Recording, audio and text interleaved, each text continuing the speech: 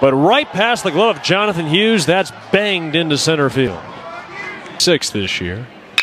And rakes one through the left side. A leadoff single for Stephen Reed. Waddell gets underneath this one. Tough read for Reback in center, and he drops it. In and out of his glove. Waddell is at second. Balls. Fly ball lifted to left center. That's down for a base hit. Scoring easily. Carson Taylor and Virginia Tech with a two out RBI single from Tanner Thomas as Hughes left that one too close to the plate in an 0 2 count.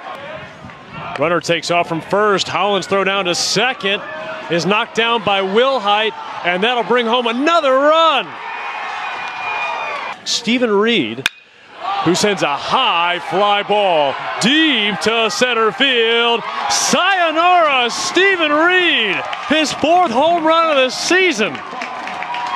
And with the exception of the big home run from Stephen Reed, there's been no damage done. Ground ball rolled to first. The veteran sub in. Grounder towards third. Webb charging, throw to first on the money. 2-0, socked off of the glove of Madden, but a ricochet right to the shortstop, Prince Genther, 5-6-3, and a toothy grin there from Genther. it's just how you draw it up, right? Once again, Stephen Reed absolutely hammers this one, although into the ground. It's off the gloves, largely taking advantage of the few opportunities that they've had. Little dribbler to Webb, throw to first. Great play by the redshirt senior third baseman. Look at that transfer. How quick that was, Roddy. He had to short arm that ball just to get it out in time. On the run, too, and uh,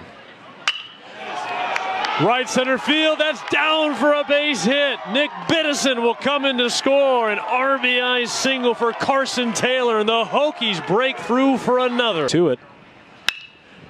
Just inside the third base line, a fair ball. Jackson Webb looking to leg out a ground ball double. First pitch from Starlipper. Ground ball hit to second. Could be two. The relay is in time. A double play. Nathan Starlipper comes through for the Hokies on one pitch. Give him the green light.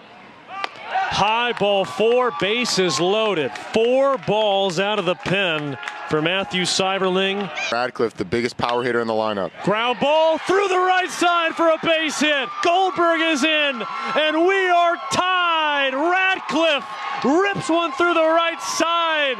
The junior with a chest bump. Fly ball to right, long run. That's gonna get down, and Georgia Tech wins it. A walk-off for Jaden Jackson. He beats his chest, and the yellow